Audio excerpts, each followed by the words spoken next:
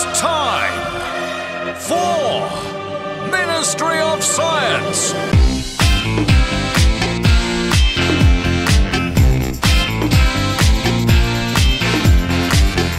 Ministry of Science sole purpose is to engage children around the world and to hopefully inspire the next generation of scientists. It's 100% educational, 300% fun.